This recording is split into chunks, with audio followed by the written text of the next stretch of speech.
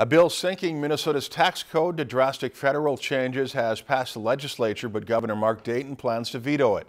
The measure cleared the Senate on a 34 to 33 vote Wednesday after passing the House Tuesday. Dayton, a Democrat, says he will not sign a tax bill unless lawmakers fund public schools facing budget deficits. House Speaker Kurt Daudt says he hopes a possible veto comes quickly to give the legislature time to craft a new bill. The leg legislators have until Sunday night to do so. If you enjoyed this segment of Lakeland News, please consider making a tax-deductible contribution to Lakeland PBS.